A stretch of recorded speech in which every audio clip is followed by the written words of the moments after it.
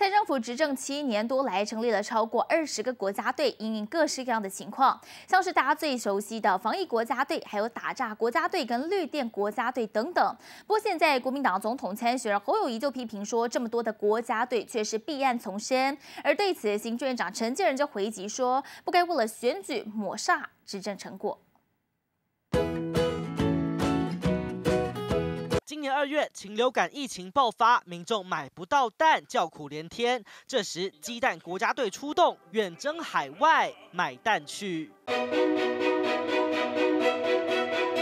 疫情期间，口罩国家队和快筛国家队日夜加紧赶工，确保台湾的防疫物资都是足够的。这些曾经的辉煌成绩，现在却成为在野阵营的攻击目标。民进党进会国家队，你可以看。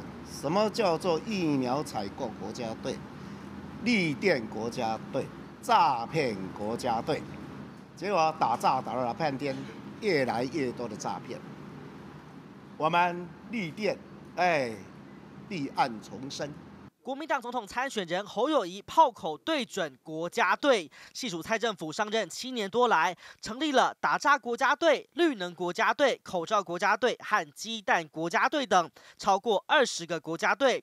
再看到洗钱防治办公室、少子化对策办公室、经贸谈判办公室等，也有超过十个以上办公室。各有各的作用。选举可以热情哈，但是绝对不可以抹杀政府和哎全体人民这几年来所做的努力和啊成果。行政院长强硬回击指控，强调正是靠着这些国家队，才能让台湾面临重重挑战时能顺利克服难关。